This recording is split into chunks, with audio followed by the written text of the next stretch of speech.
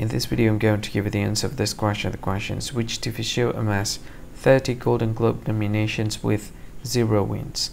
Now I'll give you the answer of this question. The answer for the question is Will and Grace. So that is the answer for the question Will and Grace.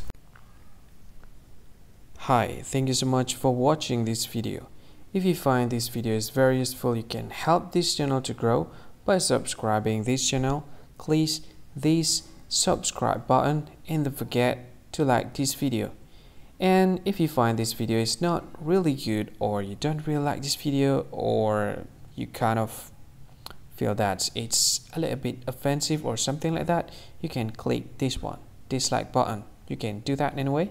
And if you want to share this video with your friend, you can share it by clicking this share button and you can share it to any any social media that you wish that is currently available at this time like Facebook, Twitter, LinkedIn, and many others.